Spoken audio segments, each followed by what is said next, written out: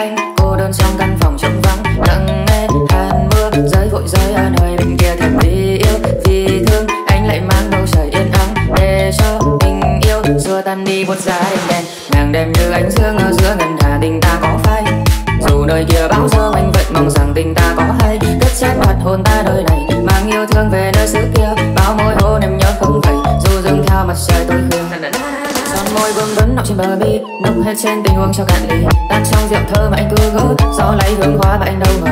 Men say dẫn lối vội vàng chia đôi anh trắng phai màu cũng đã tàn rồi. Tung bay hương sắc dịu trong say mê, hương hoa reo rắt trên con đường đời hương ca ngọt ngào ở bên đời ta, yêu em bấy lâu anh mới biết là thoáng qua nơi thiên đàng cầm tay anh nhá. Chậm chậm, từ từ cơn thần kẻo ngã, vì khi em rơi xuống chân sắt phải ngắm nhìn. Và anh mắt si mê khiến ta phải đắm chìm. Khi em cất tiếng hát vẫn vẫn phải lặng im. Tiếng của ta tiếng gió anh cứ nhờ con tim, ôi, lấy cảnh tiên mơ mộng nào dịu dàng ngất ngây. Đôi tiên giới huyền ảo mà hương sắc mê say nụ cười em tỏa nắng vào đôi mắt đêm dim. Giọt máu đào nồng ấm anh vẫn mang trong tim. Trái tim nhỏ bé này vẫn còn được chỗ trống. Để mở cửa dẫn lối mà em bước vào đời. Lần tỏ tình anh biết không bao giờ trao vội mà qua cả thế giới chỉ cần mình em thôi. Yêu.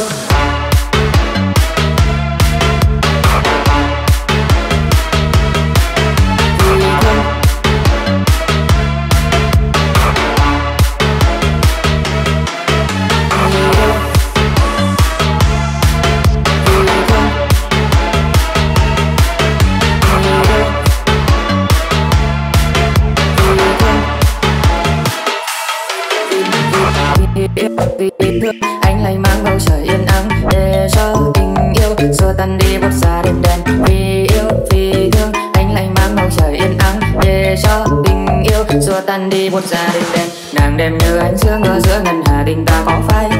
Dù nơi kia bão gió anh vẫn mong rằng tình ta có hay kết sớm đoạt hồn ta nơi này, mang yêu thương về nơi xứ kia. Bao mối hôn em nhớ không vậy dù dương theo mặt trời tối khuya thì nàng đêm như ánh sương ở giữa ngân hà tình ta có phai. Dù nơi kia bão gió anh vẫn mong rằng tình ta có hay kết sớm đoạt hồn ta nơi